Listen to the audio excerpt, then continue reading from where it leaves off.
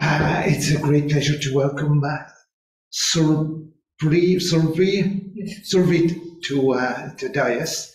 Uh, you are speaking from Hy- Hyderabad, and uh, I believe you were a postdoc in Brussels before some before this. And uh, anyway, I'm not great with these introductions. It's far more things. So at least tell us about quantum chaos and operator growth CFT. Thank you, Denjoe, and uh, thanks for uh, having me here. Uh, so I will tell about uh, quantum chaos uh, and its relation to operator growth in certain two-dimensional conformal field theories. Uh, and this talk will be based majorly on these two papers, on these two works. The first one was in collaboration with the group at uh, Brugge University, uh, Brussels in Belgium, and uh, uh, the second paper is a more recent work. So uh, let me give a brief introduction about classical chaos. Uh, so uh, chaos is a ubiquitous phenomena in many body quantum systems, and uh, it states that uh, points in phase space which start infinitesimally close to one another, they end up following entirely different trajectories. Uh, so some examples of chaos is uh, the weather. So the forecast says that it will rain in the afternoon, but till one, even one or two hours before, we don't know the exact time of rain. That's because of chaos, non-linearities. And uh, even a simple a system as simple as the double pendulum exhibits uh, chaos. So, uh, what is chaos?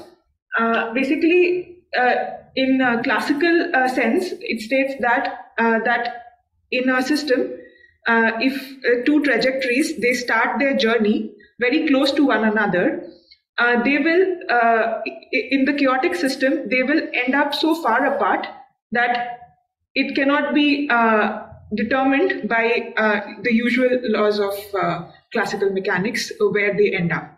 And they end up exponentially far from each other.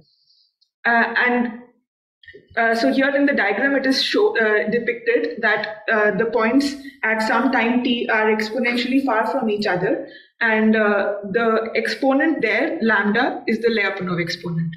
Uh, so just to quantify this a little bit better, in classical Hamiltonian dynamics on phase space,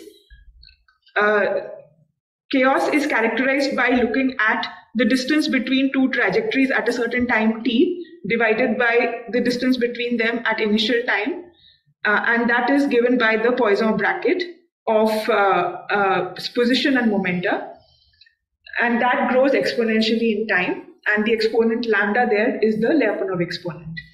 Uh, now, in this talk, we will focus on quantum chaos.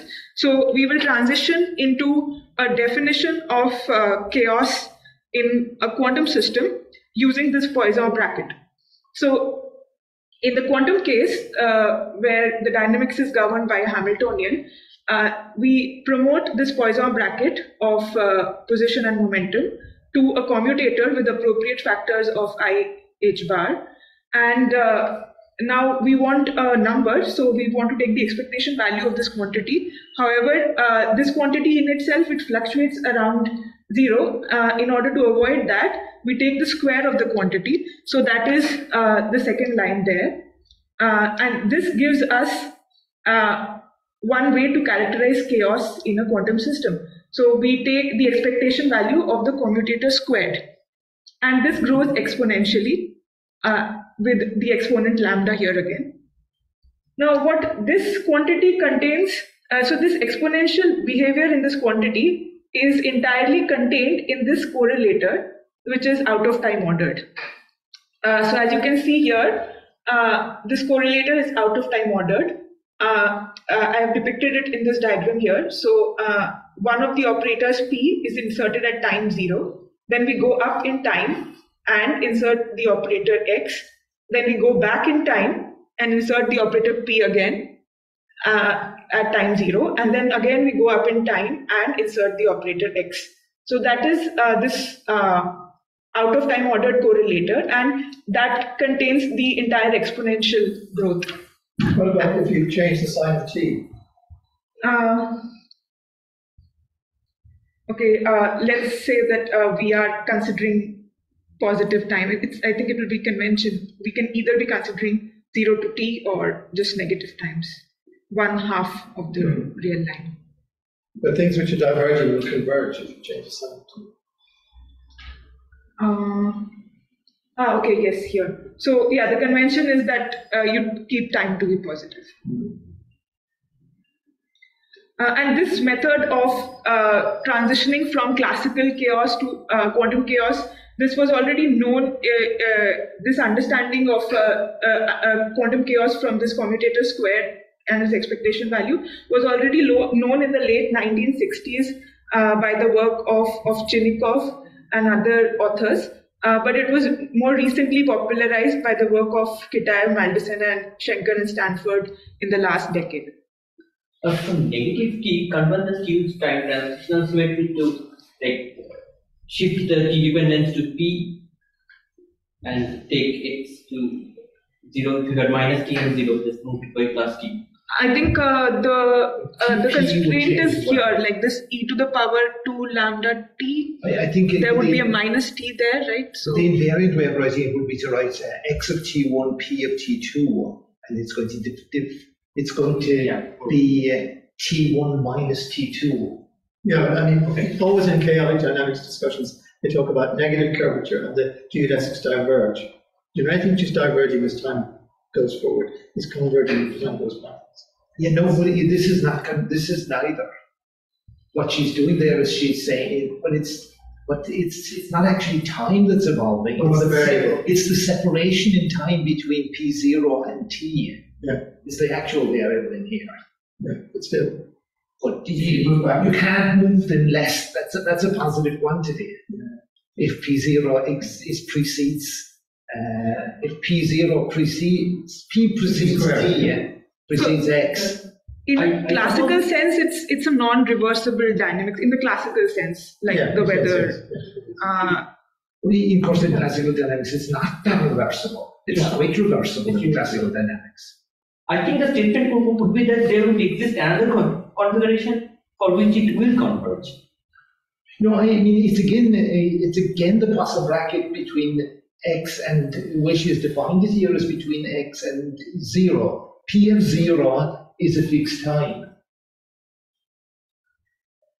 I mean, the perturbation is given is being given in the past with respect to t. Yes. P zero. There are two times involved in the equation.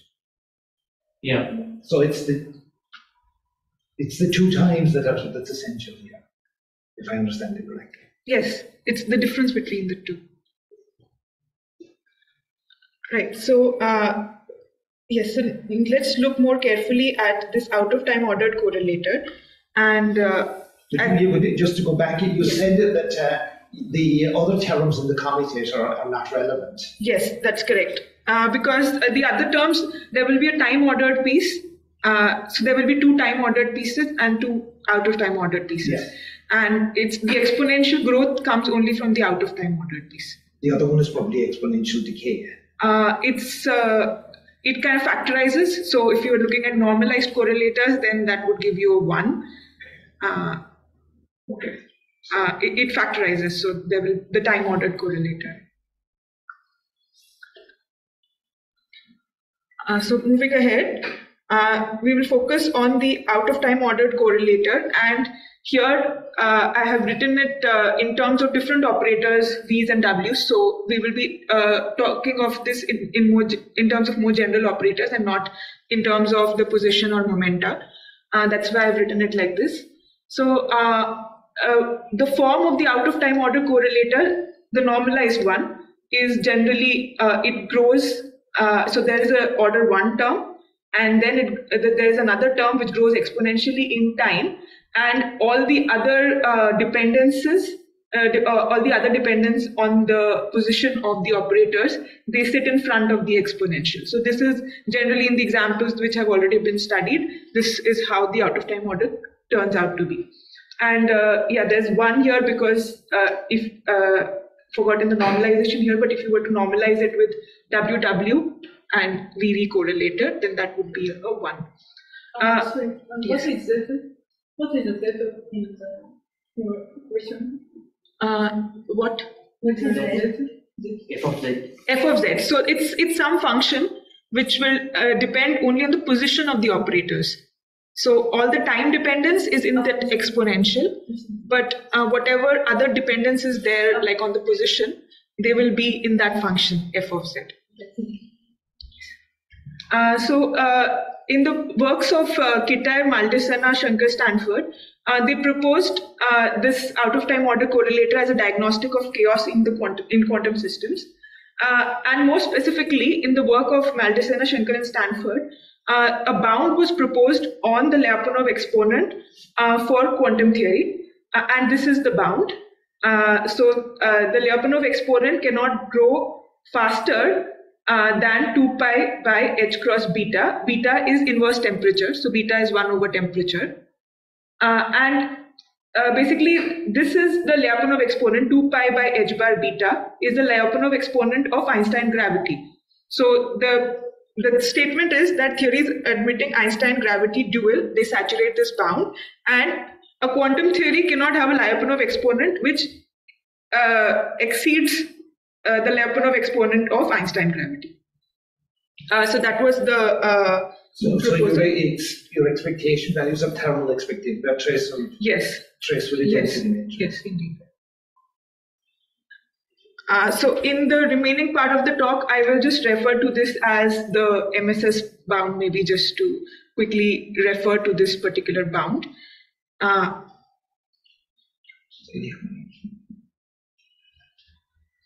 So beta is the, be- beta is the one that is the, uh, the, is what enters into the Gibbs. yes, yes. Okay. And you said theories admitting Einstein gravity. Uh, so theories admitting Einstein gravity dual saturate this bound. So the uh, 2 pi by h bar beta is the Lyapunov exponent of Einstein gravity. What does that mean? You mean in the black hole background? Yes, Or in, uh, uh, yes, or in a thermal background, yes. Uh, in any thermal background. So de Sitter is also true. Uh, okay, so I'll say I- I'm not sure about de Sitter, but uh, definitely BTZ. Uh, the- so uh, black hole, it is Schwarzschild. It is Schwarzschild. So the temperature is the temperature of the black hole. Oh, she didn't say that. She said it Uh, yes, it is. It is. So the dual field theory. Uh, uh, so temperature is the temperature of the field theory, thermal field theory, and Okay, so it's on the boundary. Sorry, it's the, it's the temperature of the thermal field theory you're talking about, not the necessarily the you. uh, I I- I- like the I'm, I'm seems to be about gravity. I said gravity. Yes, I'm coming from the perspective of ADS-CFT, where uh, the temperature of the thermal field theory uh, is also the temperature of the dual black hole. Okay, I see. Do you know how it comes? Like, what gives that kind of a bound? Uh, so uh, I, I, there is a kind of a derivation of the bound uh, later on in the talk. Uh, so basically, it depends on uh, very basic uh, things such as the uh, analyticity and boundedness of the four-point correlator, and uh, in a thermal setup. And, And- that talks about chaos. Uh, that sets a bound on uh, on how fast the, that correlator can grow. okay.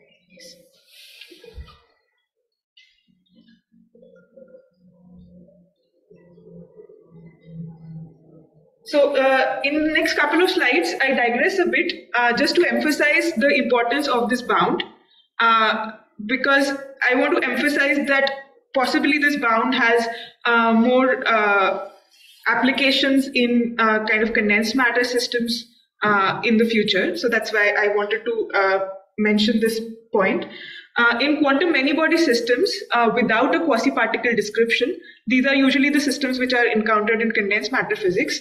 It is well known that the dissipation time scale uh, it cannot grow. Uh, uh, it is it cannot be uh, shorter than this particular value. Uh, and this value is seen, this is the dissipation time scale of high TC superconductors. So the statement is that high TC superconductors have the shortest dissipation timescale. And if you can just if you just contrast this against the statement that we just learned about Lyapunov exponent, uh, this seems to be uh, there seems to be a parallel there, uh, which is what is being explored in more recent works by Sachdev and collaborators. So uh, basically the field theory at uh, and to make this and the, what they will exploit in making a, a, more strong connection is that the field theory at the quantum critical point of high TC superconductors it shows features similar to a holographic CFT. So they computed this in uh, the superconducting phase and not in some strange metallic phase. The left one. Uh, yes, this is the non-Fermi liquid answer. So in the strange metallic phase. Uh, this is a strange metal. Yes, yes.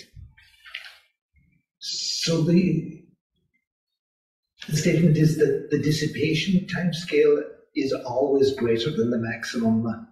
Uh, I mean, you, one of them is going the opposite way to the other. You've thrown in a KB, to, which I will set to one. Yes.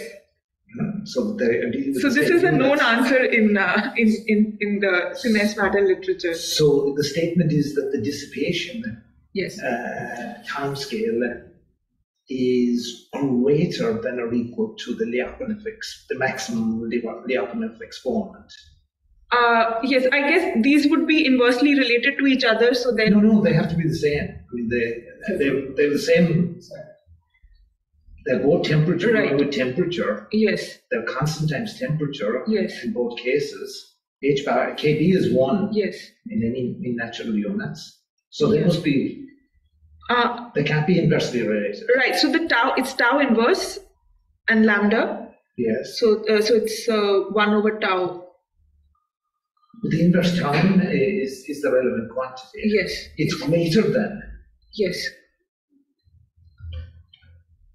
Sorry, can I ask my like more simple questions that I'm really not used to London matter uh, Yes. at this point? Yes. Uh, like, what is the dissipation time scale? Like, what is being dissipated here? Uh, dissipation time scale is uh, uh, so I, uh, from what I understand, it is how fast the information is scattered or dissipates or no longer remains. That would be How do you define information? uh, it, it would be some uh, correlator that uh, it's the, observable. in the superconductor. Yes, yes. It- there, there is a certain correlators which are measured there, which are the JJ correlators, so two point functions or four point functions.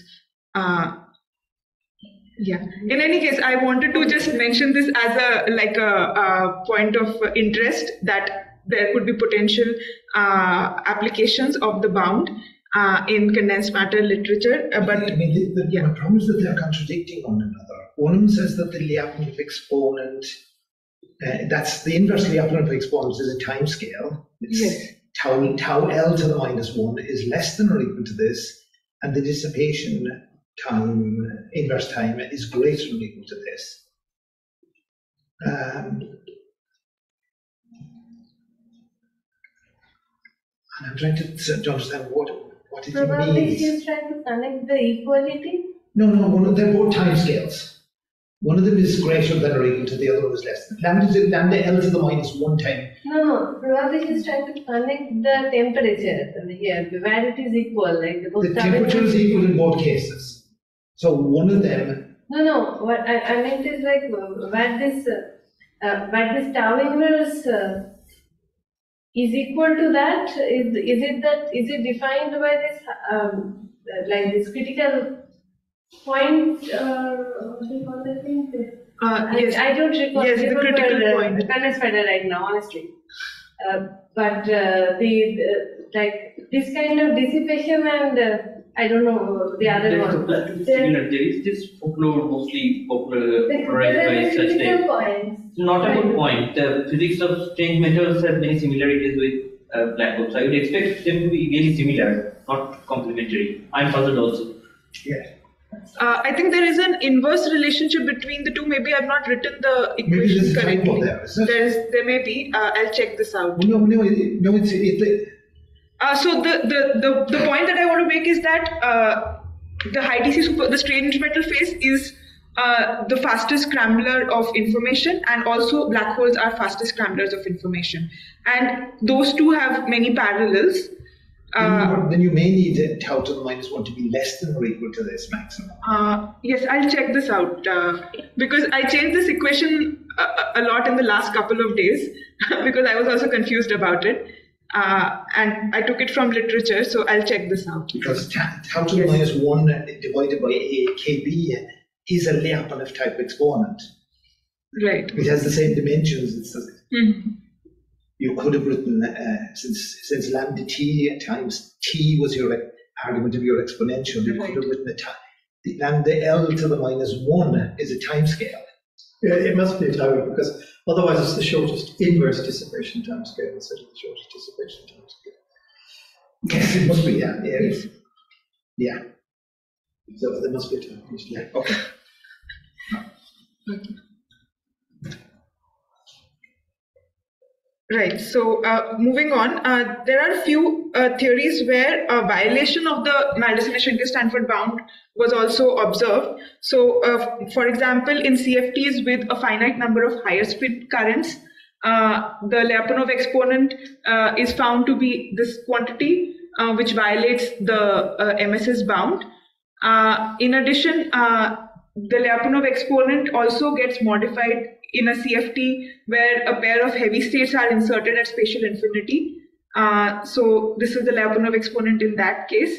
And here also, if the heavy states have negative conformal dimension, and that is the theory violates unitarity, in that case also uh, some violations are observed.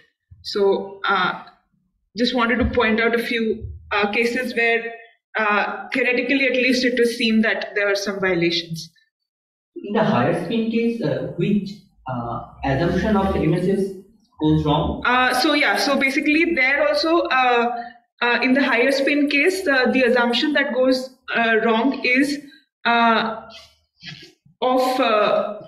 unitarity itself, because when the higher spin charge is very large, then the theory is not good in the sense we see it in uh, certain observables that like entanglement entropy they don't come out to be as expected. Uh, whereas if we uh, if the higher spin charge is taken to be small so uh, as i've written in the second line so uh, uh, when the higher spin charge has a certain bound so that quantities like entanglement entropy they behave as expected and the theory is unitary so then the bound is no longer violated so it's unitarity uh, which uh, uh, which is uh, at play here in in both these examples. Okay, so uh, coming back to the main parts of the talk. Uh, so that was the introduction.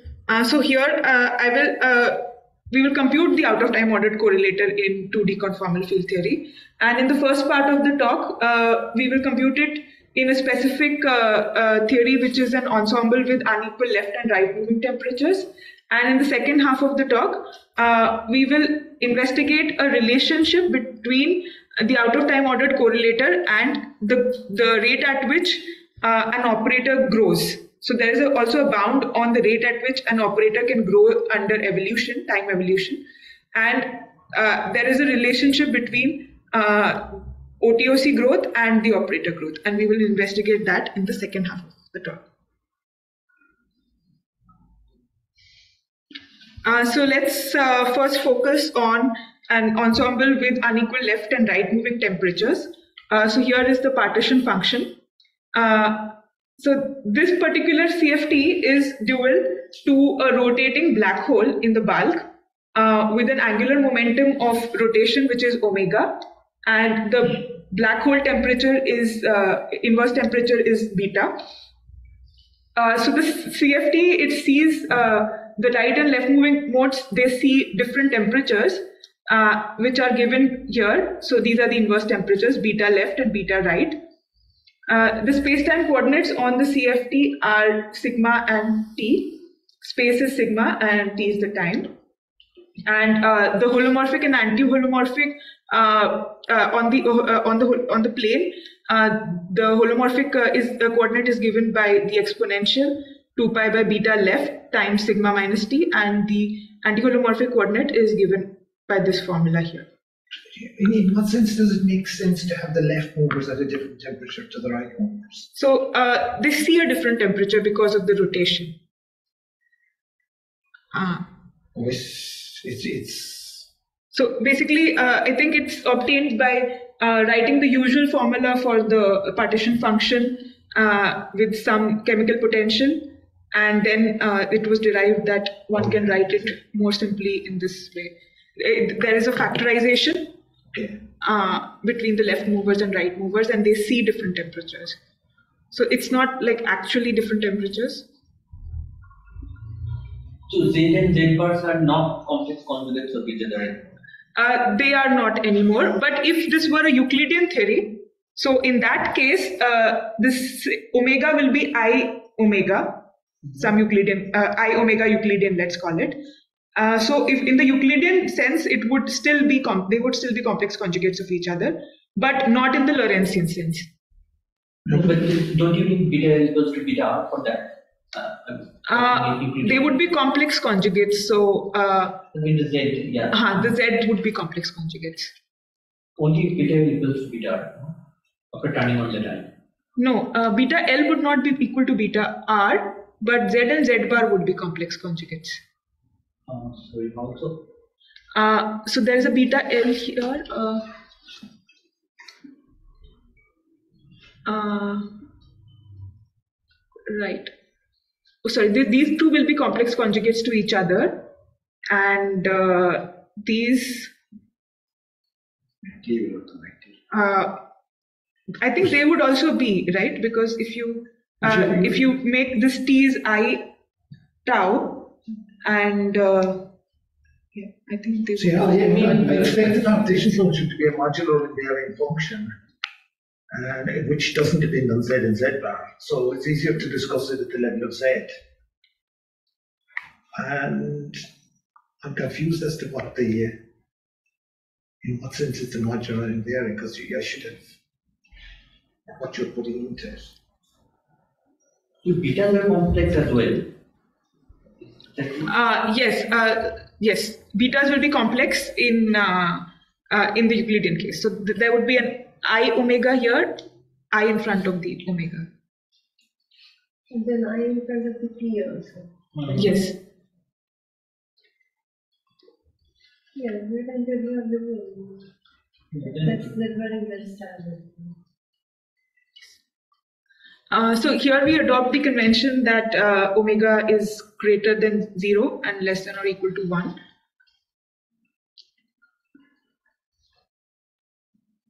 So uh, essentially, now that yes. So uh, the uh, standard this um, uh, this uh, periodic identification and getting to the torus that picture is still valid or Uh, I didn't get your question. you draw this parallelograms and get to the torus from the complex plane Yes. that picture is still valid or that somehow modified Uh, so are are you talking about? uh, I think it would be valid in the holomorphic plane and on the anti-holomorphic plane individually, but with different temperatures. okay. Yes. So the, the CFT is constructed by um, S1 times S1. Uh, sorry. The torus is S1 times S1. I think it's independent of each other. So uh, I I think uh, at first I will focus on uh, the cylinder case.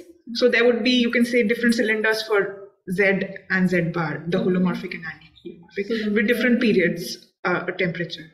so you mean tau and tau bar would be independent now not complex conjugates of each other Yes, so I, I'm talking uh, in the first part. I'll just focus on uh, the cylinder case, so only the thermal case, not the torus case. okay Uh, and there, the the the uh, time circles will have different periodicity in the uh, holomorphic and anti-holomorphic coordinates.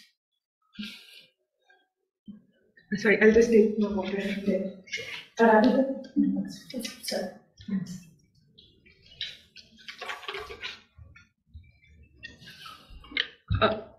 Yes, moving on. Uh, now that uh, we just saw that the conformal field theory uh, dual to rotating BTZ, uh, it sees uh, two different temperatures for the life, uh, left movers and right movers.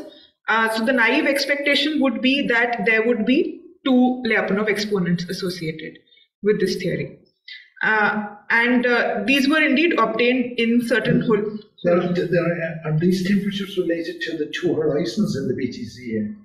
Yes, They, they are. yes, yes, they are. Okay. Yes.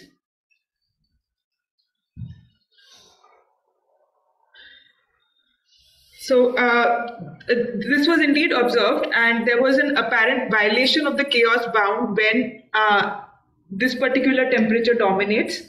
Uh, so in this case, uh, in this particular case, uh, the Lyapunov exponent will be larger than 2 pi by beta. Uh, so basically what they observed is that the out of time ordered co- uh, using holographic computations is that the out of time ordered correlator for rotating btz exhibits a periodic modulation about an average decay. So here the average decay is uh, the orange dashed line is 2 pi by beta and about this decay there is oscillations uh, as shown by the blue line here. So uh, there are periods when the out of time ordered correlator is uh, dictated by one of the Lyapunov exponents and then the other one. Uh, so that causes the oscillations. Uh, I will explain this plot more in detail uh, later on in the talk. Just wanted to give an overview. So we will try to explain these from the CFT perspective and what happens to the out of time ordered correlator in the conformal field theory that leads to such oscillations to be there. So yeah, let's just first compute the out of time ordered correlator uh, and see how it is obtained from a Euclidean correlator. Uh, so here I gave a prescription. Uh, so let's first consider a Euclidean correlator uh, of uh, these operators, the W, a pair of W operators and a pair of V operators. Uh, and here, since we are interested in getting the correlator for uh, the particular CFT with uh, two temperatures uh, with unequal left and right moving temperatures, so that's why I've written that here. Uh, now, the uh, this this procedure is independent of uh, which conformal field theory I'm talking about. It's not dependent on the specific CFT. So to get the out of time order correlator from this Euclidean correlator, we assign small imaginary time to each operator. So each of these W's and V's will get a small imaginary time. And holding the imaginary times fixed, the real times are increased to the required Lorentzian value. Uh, so here the Lorentzian time is zero, here it is t, here it is zero again, here it is t. And these operators are also separated in space uh, by sigma. So the pair of V operators and the pair of uh, the, the W operators are at zero uh, space and the V operators that are at sigma space location. And here, uh, this gives the out of time ordered correlator for this particular ordering of the epsilons. Uh, and this is the normalized correlator. So this is uh, the usual uh, way how the out of time ordered correlators are obtained starting from Euclidean correlators. And where is the requirement that they're small imaginary times? Uh, yes, You, you can define this quite generally, this epsilon is small. Uh, but you can define it quite generally. And you presumably have, it's it's a uh, so essentially uh, basically epsilon you have periodicity in imaginary time in this, this case. Know, but I'm not sure what you have actually because you have two temperatures. So Uh, right. So we are uh, uh, we are taking them to be small because uh, they, in a sense, they. Uh, so as you can see here, there are two W operators which are sitting at the same location, zero, zero. Uh, but we need to separate them so that there is. So that is the cutoff epsilon that's coming in from there. And similarly for the two V operators, they're sit- sitting at the same space-time location, sigma and t, and we need to separate them. Uh, so that's the UV cutoff. That's that. th- those epsilons are the UV cutoff that are coming in. Okay. Yeah, I have another question just before that, which was with regard to your expectation values in general. Yes. If I write, uh, some consider the if when you've got these two temperatures, you were interested in taking expectation values with um, at different times in in real time. But normally I expect to have periodicity in imaginary time, this KMS condition. Yes. But it sounds like you have periodicity. You have two periodicities. Yes. And uh, So that- that basically- just seems very strange to me. I think, uh, the the KMS conditions. Right. I would expect just one. Yeah. Uh, so the way the calculation proceeds is that uh, we use uh, uh, the block expansion, and in that case, the blocks they factorize the holomorphic and anti-holomorphic parts, and so then we can talk about just the holomorphic block or just the anti-holomorphic blocks, each having different uh, asso- being associated with different periods, and that works out. But yeah, uh, I mean, yes, in, in case of the so, so basically, I would say that uh, uh, in terms of the entire correlator, what one is computing is there is uh, expectation value in an ensemble where there is a temperature and there is a chemical potential of rotation. Even still, I would expect periodicity in imaginary time to be uh, with the beta, with temperature. Right. That's a very general KMS con- uh, result, Yes. result, that KMS condition. Okay. Well, anyway, okay, it's, it's confusing. Yes, so uh, this is the prescription to get the out of time ordered correlator. And uh, so uh, essentially, uh, in the case of Euclidean correlators, the operator ordering does not matter. But uh, when we come to Lorentzian correlators, I already said that there is a time ordered correlator and out of time ordered correlator. That's because the time ordering matters uh, and there is multi-valuedness due to the branch cuts, which these branch cuts and depending on which branch you are at gives you the time ordered or the out of time ordered correlator in Lorentzian uh, terms. Now the conformal block expansion, which we will use to solve for this out of time ordered correlator, it introduces additional multi-valuedness and even in the Euclidean signature. Uh, so if if uh, we were talking about the full Euclidean correlator, it would not be multi-valued. But as soon as you talk of it in terms of some block expansion, then the blocks could be uh, uh, multi-valued, but the entire sum of all the blocks will not be. Uh, so if the correlator, so we will uh, approximate the correlator by a single Virasoro block, in which case the result will depend on a chosen channel and the prescription for choosing the channel is the following, that we perform the Euclidean computation, continue to Lorentzian signature with the desired time ordering, and then select the channel which gives the maximal contribution. Uh, now this prescription uh, has been used in uh, works uh, by authors, uh, by previous authors, and also not just in the uh, in the computation of out of time ordered correlators, but also for computing entanglement entropy when there are heavy operators. Uh, so this prescription has been used earlier, and we will be using this prescription.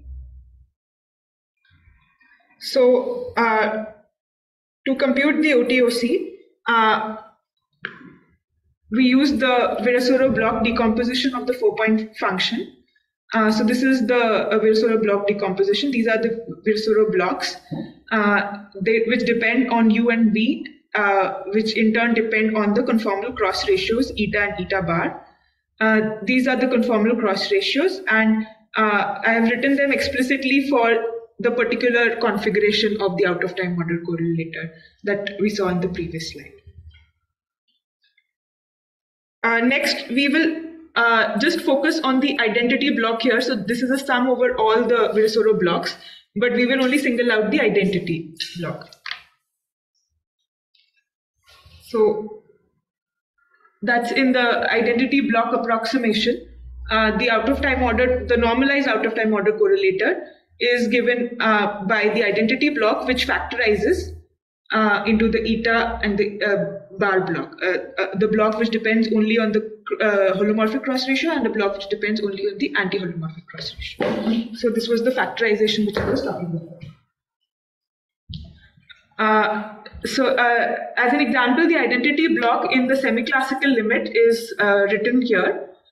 Uh, what I mean by the semi-classical limit is that uh, we're considering a large CCFT, CFT at a large central charge, uh, such that this one of the operators, it's, the the conformal dimension of one of the operators, that is of the, of the W operator divided by C, is held fixed and small and the conformal dimension of the V operator, it is much smaller than the central charge, but much larger than 1.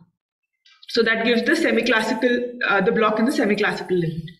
And as you can see here in this expression for the uh, block, uh, that there is a branch cut in the complex uh, eta plane, and that branch cut extends from 1 all the way to infinity. So you are considering a table with a large central charge. Yes. And this is the heavy, heavy light light limit if uh, Yeah. that makes, uh, that sounds more familiar. Sure.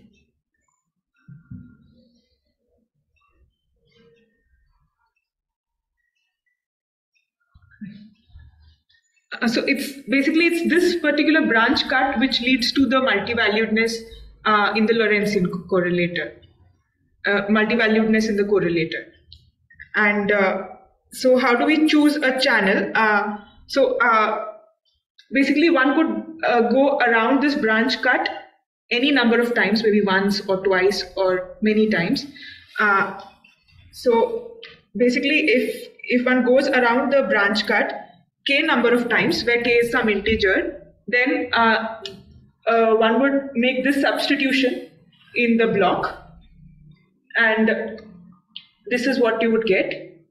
So this is the uh, this is the uh, holomorphic block. This is the anti-holomorphic block. Contribution coming from the holomorphic block and the anti-holomorphic block. Uh, the uh, on the holomorphic block we are on the kth sheet and in the anti-holomorphic uh, block we're on the k bar sheet where both of these are integers. So if this were a pure Euclidean calculation, then k bar would have to be equal to minus k, and then uh, uh, this correlator would be maximized.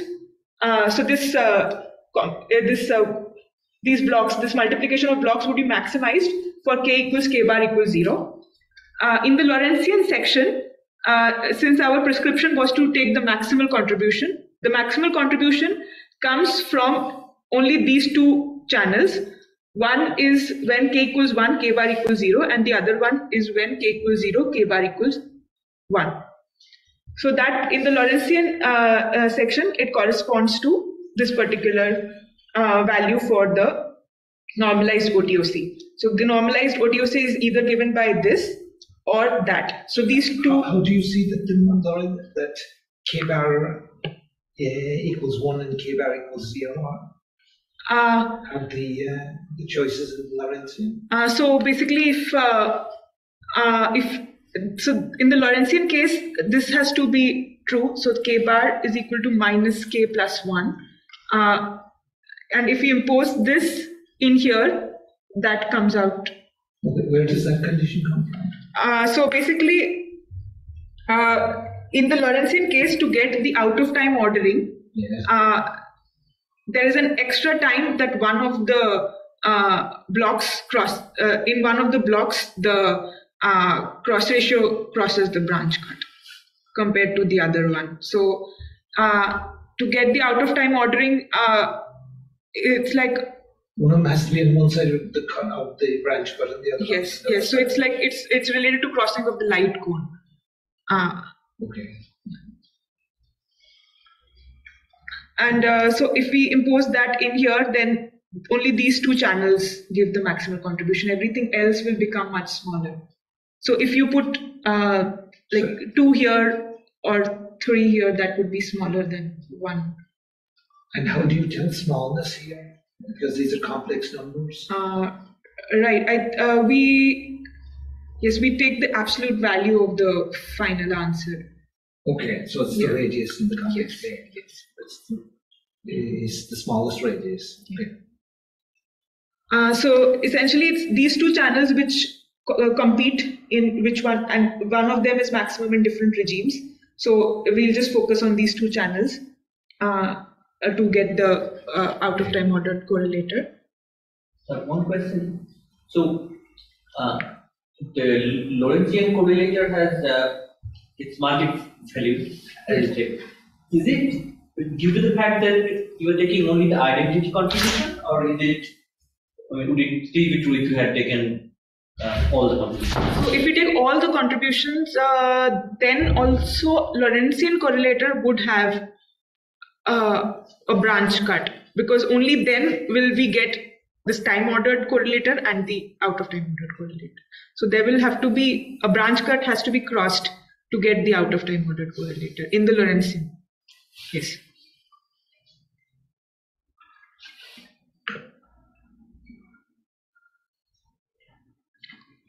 So here is the result for the out of time ordered correlator. Uh, and uh, as I said, that both of these channels they contribute in different, uh, they are maximal in different regions of space time. Uh, so that's the expression, and uh, this is the final expression in, uh, under certain approximations. So in the next slide, I have a good picture so that you don't have to look at these complicated equations. Uh, and uh, as we can see here is that at the late time, the decay of the out of time ordered correlator is given by the Lyapunov exponent, which is less than 2 pi by beta. So at late times, it is always in accordance with the uh, chaos bound. But at some intermediate time, it may exhibit a Lyapunov growth which is larger than 2 pi by beta. So, yeah. So basically, here is the picture. Uh, so what the previous equations say is the following. Uh, so this is the light cone, and only once you cross into the green region do we get the out of time ordered correlator. In the blue regions, it's the ordered uh, time ordered correlator. And what this says is that if sigma uh, in the convention when omega is greater than zero, if sigma is positive, then if we go forward in time, uh, there would be a certain region where there will be faster growth of the OTOC, but at late times it would always be the slower growth which will dominate.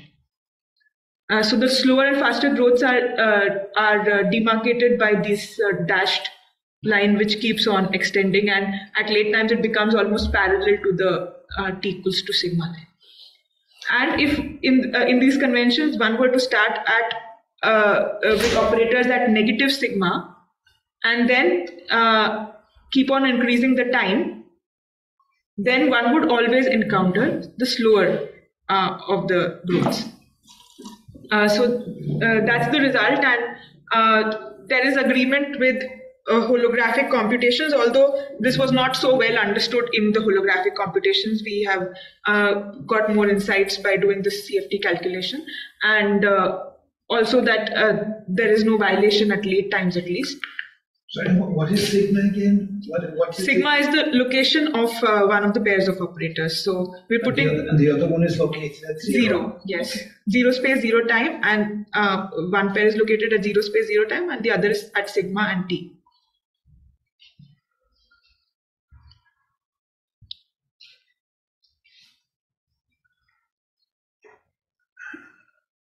And the system is rotating.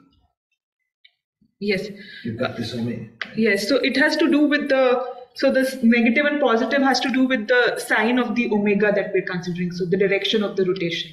Okay. and we're strictly restricting to positive omega so then we can otherwise yeah it's, it should be then we can talk about I am having difficulty getting a physics picture of whether there should be a difference on is. Putting my operator to the left or to the right of. Because the the, the, rotation is in a certain direction. Uh, so one of uh,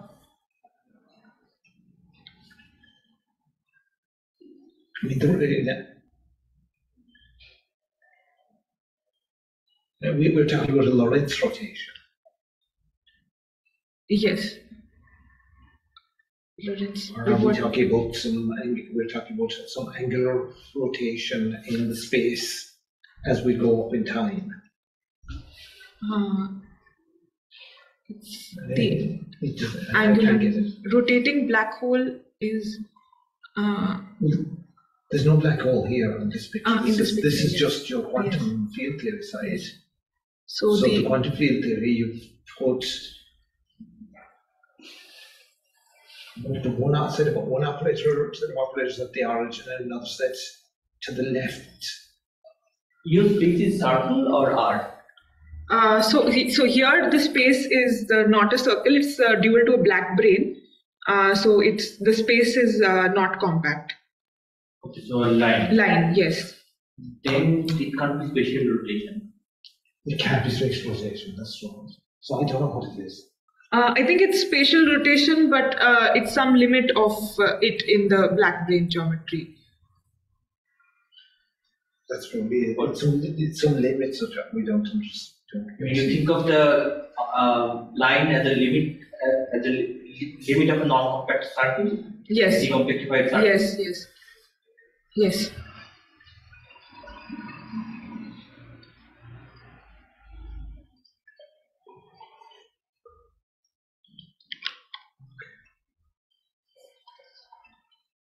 So yeah, yeah. The the discussion so far was in the decompactified limit, and now uh, I will look at the compact, uh, the uh, compact spatial circle.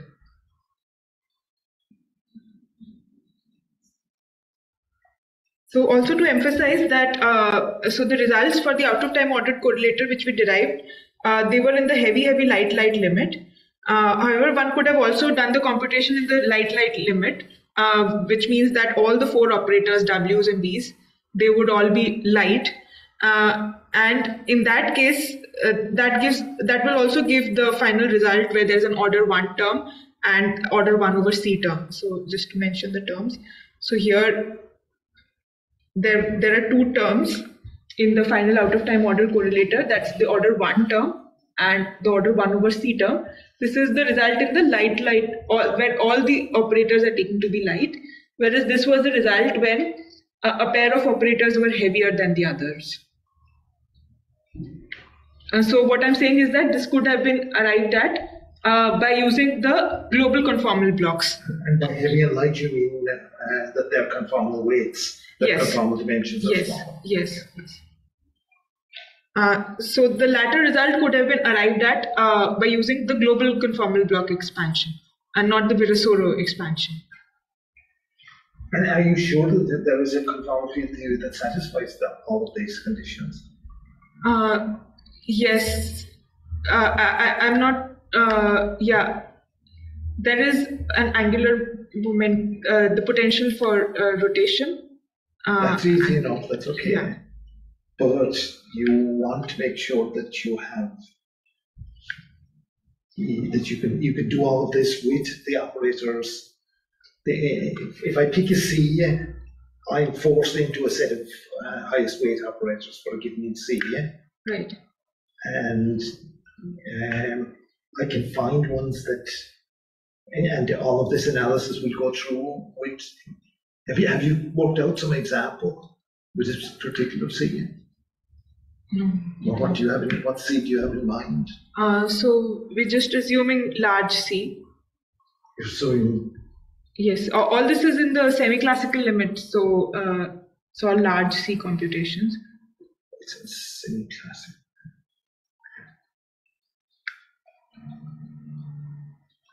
Okay, all right. Uh, uh, before moving on, how much time do I have? So I'll plan accordingly. How much time do you need? yes, just Like, uh, as far as my talk is concerned, I think I'm only halfway through, but I'm sure we cannot sit for another hour. So, well, let's continue and see we can okay. make it faster.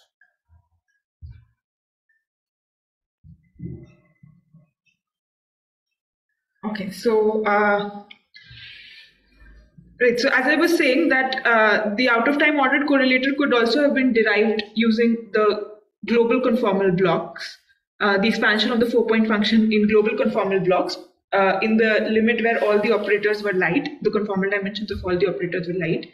And that's the global expansion in global conformal blocks.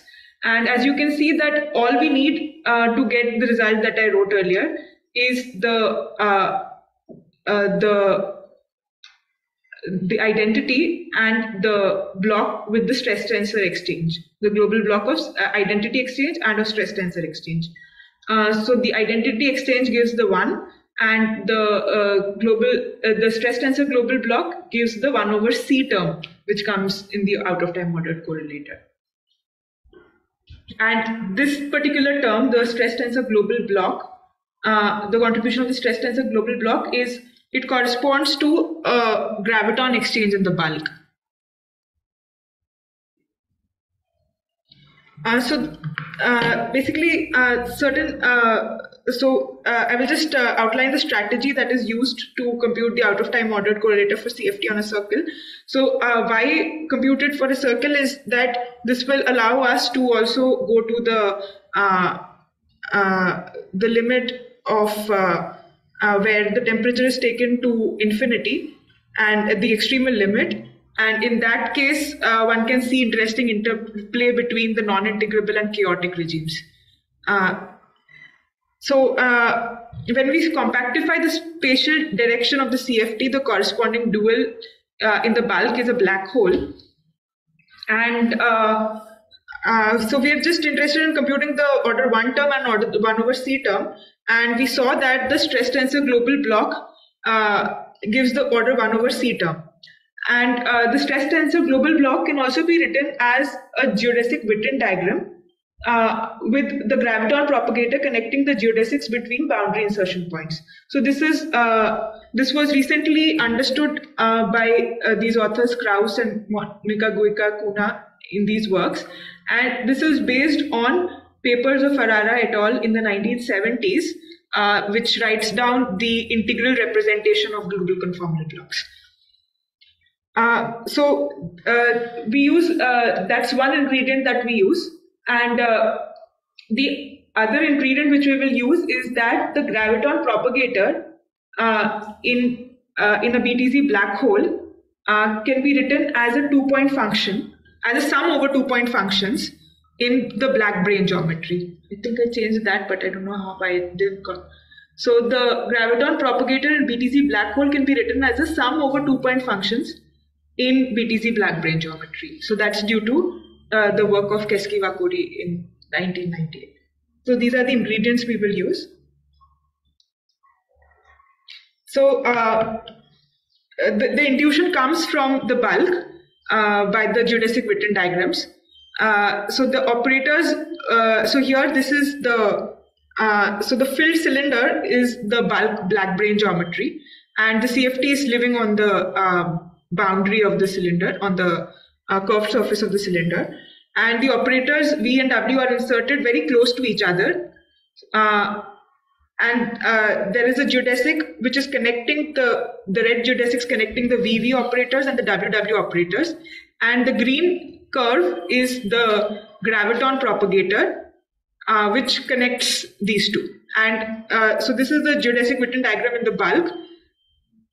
And the integration is only over the geodesic. So the point that is connecting the red and the green, so that point there, that point is being integrated along all this geodesic and similarly here. So that is the geodesic Witten diagram. Uh, now, in compactifying this uh, and getting the answer, uh, we make three assumptions. Uh, first is that uh, all the operators are light, as I said. The second thing is uh, that we consider the time, the time circle to be the spatial circle to be much larger than beta. So the periodicity in the spatial direction is much, much larger than beta. And uh, the third assumption is that both these V operators are inserted very close to each other and both these W operators are inserted very close to each other. So uh, what this does is that now if we were to consider compactifying this uh, uh, considering both these V operators very close to each other and the W operators very close to each other ensures that uh, these red geodesics at least they do not know about the compactification into a large torus.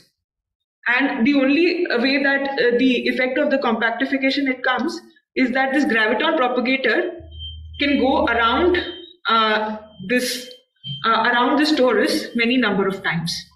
And we need to take into account all these contributions.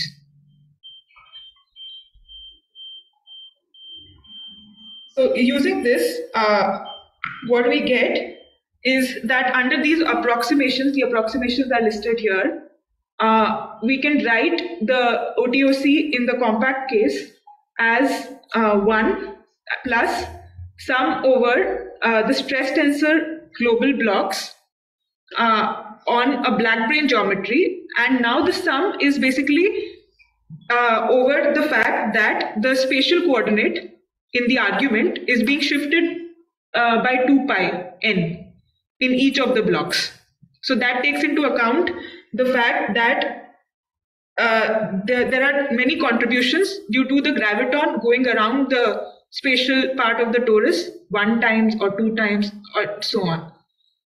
So that takes that into account. And basically putting all that together, so we apply this, we use this formula to arrive at uh, the out of time ordered correlator in the compact case. And uh, so uh, it's not a very, uh, uh, I think uh, it's not too surprising that this agrees with the holographic results because we use so much of holographic intuition, but ultimately we use this, under these approximations, this formula on the CFT side, and we find this result for the out of time ordered correlator. Uh, yeah, so this again can be uh, depicted by uh, the this result can be depicted by the plot here. So basically, uh, on an average, the out of time ordered correlator decays by 2 pi by beta, but there are oscillations about this average decay that's coming from uh, uh, basically the fact that the graviton is going around, and that's captured here by this n star mod 1 term, where the n star contains time dependence in there. So that kind of explains the result that I uh, showed in the beginning. And So about the CFT, you are only uh, using uh, the fact that it has a holographic dual. Uh, what else are you using about the CFT? uh, so essentially, what we are saying is that uh, we are what we are using is that relationship between global conformal blocks and the Witten diagram. Uh, and the relationship that the global conformal block can be written as a geodesic Witten diagram. Uh, we're using that intuition to write uh, to say that uh, uh, to say that this particular formula here on the first line will give the correct uh, at least in this approximation it will give give the answer Yeah, yeah. I'm saying just to get to the Witten diagram story, you have to assume the existence of a holographic dual. So you are assuming that. uh, yes to get to the Witten diagram you use the fact that uh, the global conformal block can be written as an in, there is an integral representation for it in terms of uh, hypergeometric functions so there's some integral over some hypergeometric functions Even if the CFT does not have a holographic dual, that's Yes, yes, that's true, independent of. So, just the fact that there is an integral representation of the global conformal block, that is independent of having a holographic dual. And then that structure and the, the structure of the geodesic Witten diagram, they are very similar. And then by drawing parallels uh, between the two, it was shown that they are the same up to some factors. we need large C. Yes, large C. Yes. But no assumption is made about the state term. Blah blah blah. Uh, the paper Ferrara et al. Uh, I'm not sure if they made any more assumptions. Uh, um, I don't recollect uh, exactly if they made more assumptions.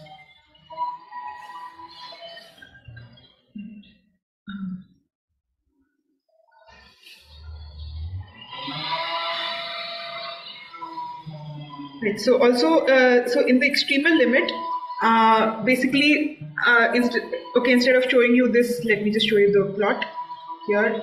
So in the extremal limit, uh, the OTOC, uh, what the extremal limit means that uh, we're taking beta to infinity, the temp- inverse temperature to infinity, omega to one, and in this limit, the left movers see an infinite temp- this sorry, the right movers see uh, zero temperature and infinite inverse temperature, and the left movers still see a finite temperature.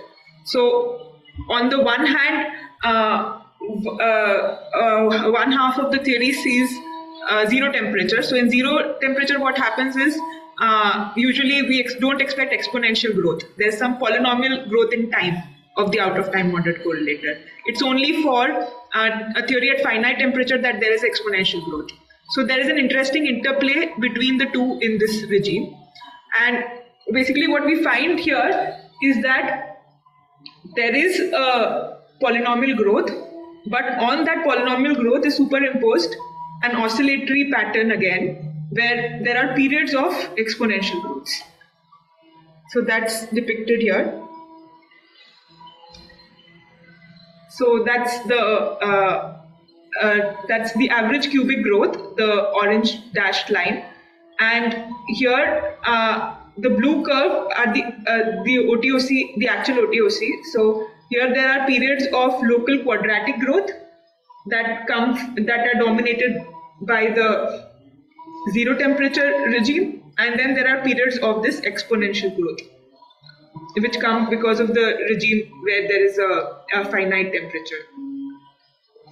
Uh, yeah, so this is uh, so there is a lot of uh, discussion in the literature of this uh, interplay between integrable and chaotic and the transition between the two. So we found this to be an interesting setup where uh, there is a inter- uh, there is a non-trivial interplay between the two regimes. Okay, it's a bit of exponential growth look like they're getting longer as we go up along. Uh, Both periods, so the teeth are getting more separated. uh, yes. Right. So, also, were you able to fit the uh, fit it to an exponential? I know you didn't put the exponentials in there. Uh, I, I, I think the exponential, uh, so the quadratic, uh, quadratic is getting longer, isn't it? Yeah. The exponential is just going up.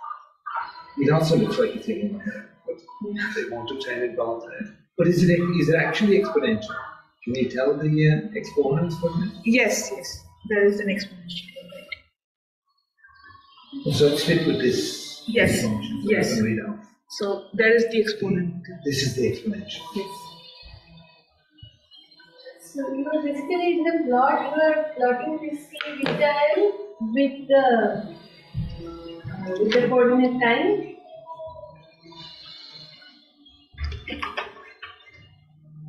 Uh, so maybe uh, because of the time, uh, I can just tell you very briefly about the second half, just the introduction, and not go into the details. So we can we can see the, the exponential here. It's two pi. It's like it's probably two pi squared over beta. This one? Two pi squared L over. The the time dependence of the exponential. Yes, Not the yes, one these one of the other ca- the other. It's two pi over beta. Beta.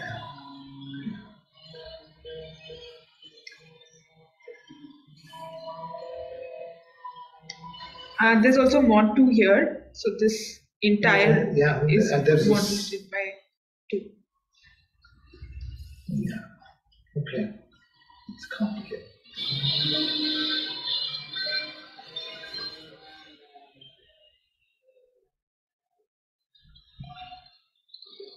So yeah, I'll just briefly tell you about the relationship between out of time ordered correlator and uh, the bound on operator growth.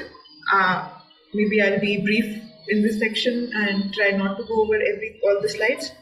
Uh, so uh, basically, uh, if you look uh, at Heisenberg evolution of an operator, uh, it can be if, if using the Baker-Campbell-Hausdorff formula, it can be written in this way. Uh, and in this picture, what is represented is that the operator is at time zero, is represented by the black dot. And then uh, if you act on it with the commutator, it will give more number of terms represented by these yellow dots here.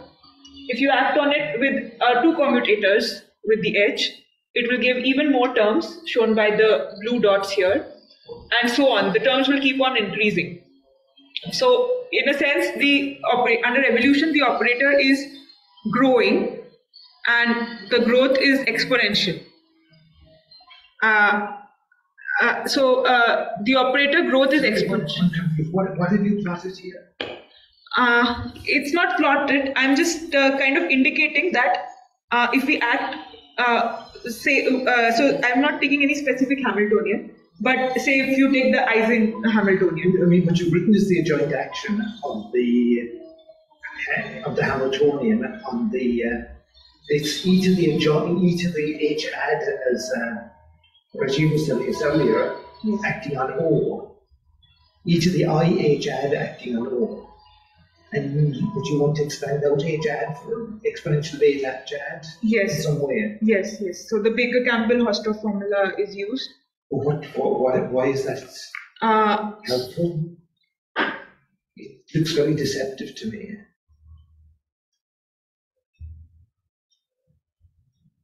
The actual terms will some linear combinations of those two dots and green dots and so on. Well, that's just an some expansion of, of the adjoint action. I mean, you could write e to the i times any operator as, as, as a linear term, quadratic term. yes, term. yes, yes. But this is e to the i, e to the i, h commutator, t, with the adjoint action of, you know, t. It's a different representation of the Hamiltonian. It's the Hamiltonian, the adjoint action of the Hamiltonian. And it's just the unitary evolution with the adjoint action that you've expanded out. And for some reason.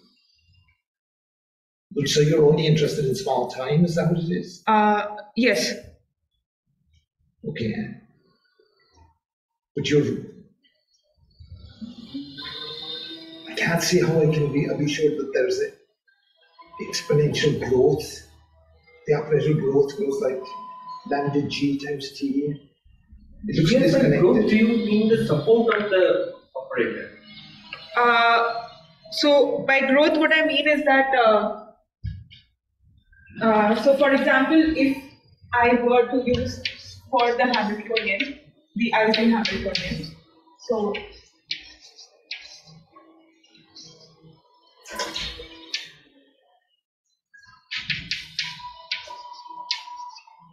and uh,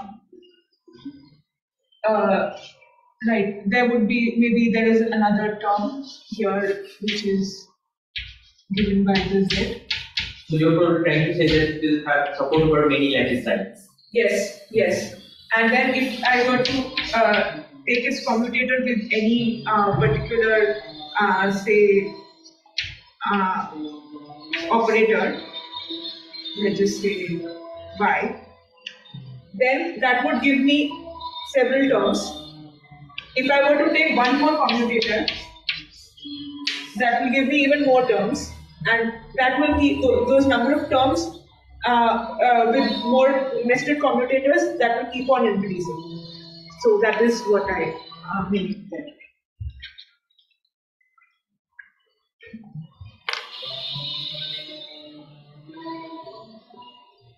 Uh, I mean, this has been uh, explicitly computed for certain models, and uh, for those particular models, it has been found that uh, there is growth, there is exponential growth.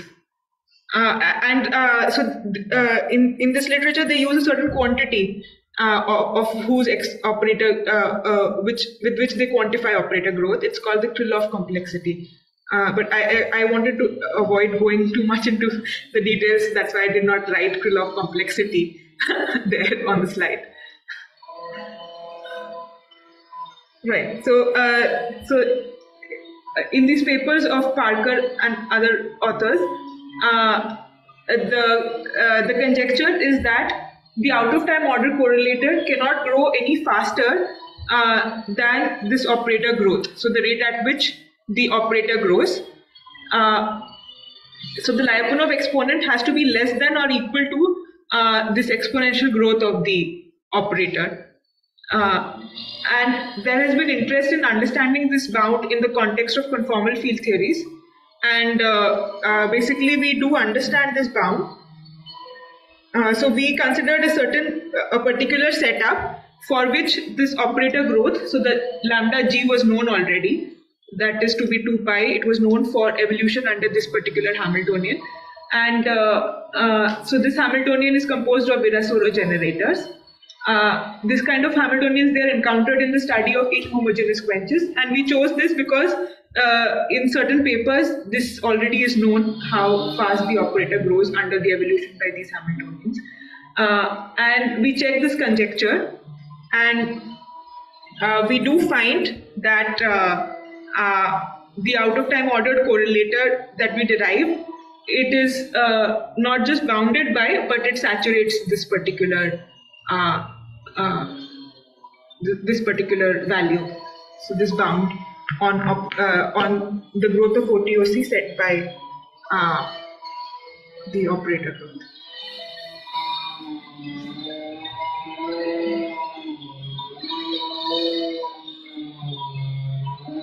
in view of time constraints, I think I'll just give that result and not go into details. Okay, uh, well, thank you very much for your time. There are questions about them more. We've been asking questions as we go along, as you noticed. right? Besides definition of lambda g, like lambda. Yes, so it, it comes from the Krylov complexity. Uh, so there uh, there's a definition or there's a concrete definition of the Krylov complexity. Uh, Definition itself is complex. Uh, there is a little bit complexity there. That's why uh, I don't want to lead with that because the reason is that uh, there is a certain uh, one of the quantities there is not fixed. So it, it is basis dependent. Ah, So that's the complexity in Krylov complexity. But usually people consider one particular kind of basis.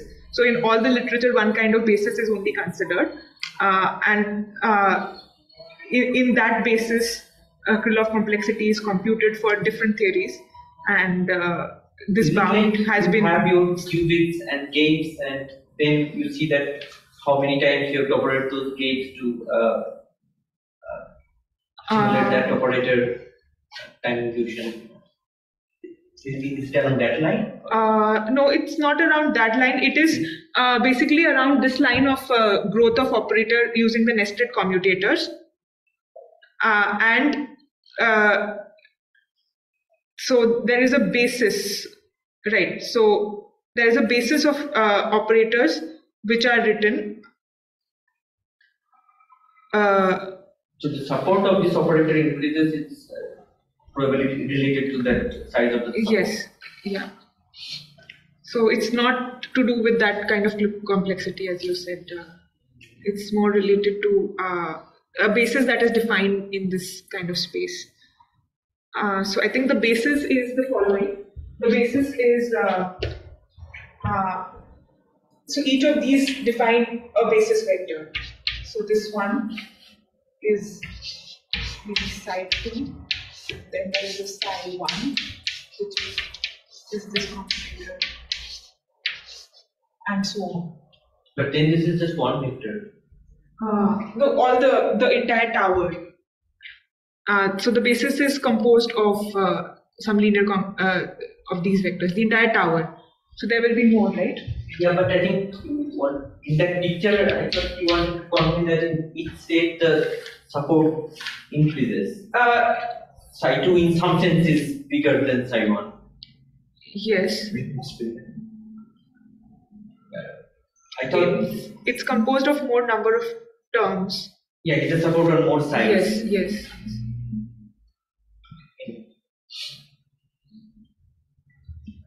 And uh, the basis is a linear combination of those vectors, as far as And they're not orthogonal. Uh, yeah. These are not orthogonal, but the basis is. Uh, It's probably over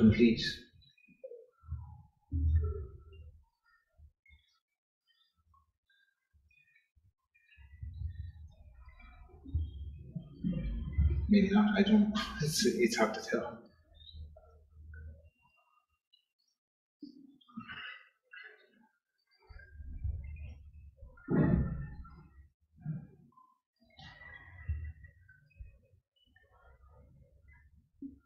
Okay, I'm going to stop the recording.